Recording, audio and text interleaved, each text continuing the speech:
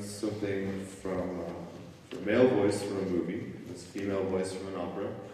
We did something originally for cello. Um, let's see, natural horn. How about that? French horn. Um, this next concerto was written by Mozart. Um, uh, and, and for those of you, little music history for you. Uh, when Mozart wrote these concertos, brass instruments didn't have valves yet, so they could only use the harmonic series. And um, I think it was around 1750, right? 1750, 1850, 1750. They came up with a 1750. Trust me. Uh, somebody came up with a way to uh, put their hand in the bell of the horn and change the pitch. Now, of course, it, it didn't all sound. Um, the pitch didn't all sound great, but it worked. And so Mozart wrote these concertos for a friend of his in um, in Vienna. Uh, his name was Ignaz Joseph Leutsky, and um, for some reason, Mozart really liked this guy enough to write concertos for him, but he also really liked to make fun of him. Um, in 1777, uh, Mr. Leitgeb, who was, he was just a horn player in the orchestra there, uh, he needed to make a living. He opened a cheese shop.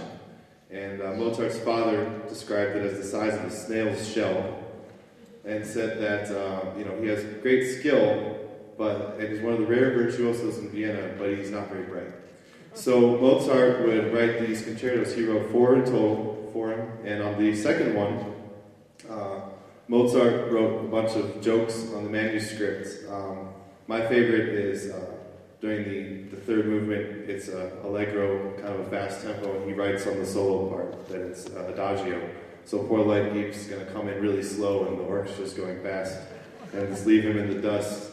Um, he puts a few Italian markings, uh, you know, at the end of the piece in Italian, finisci, grazie al cielo, basta, basta, which is, are you done? Thank you, let's stop, you know.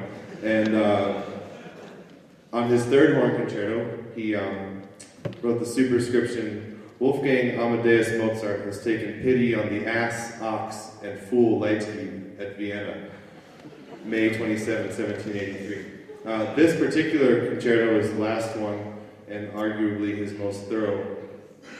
Uh, he, he, I guess he wasn't uh, really up to making fun of poor Leitgeb. All he did for this one was uh, write the score in parts in uh, varying colors throughout blue, red, green, and black, which um, doesn't seem very exciting to me. Maybe the guy was colorblind, I don't know. Um, these concertos were originally written for horn in D or E flat. Uh, this one was written for E flat. Now people play them on the F horn. I thought I would take this opportunity to also tell you a little bit about my tuba. This is an F tuba, which means it's pitched in F. My fundamental pitches are F. This is very similar to uh, a French horn, a horn in F, except obviously it's a lot bigger, right? The length, however, if I stretched out all the tubing from end to end, would be about 22 feet, and it would be the same as a French horn. The difference here is that the, the bore is a lot bigger. So I'm playing on the same harmonic series and everything as, a, as an F horn.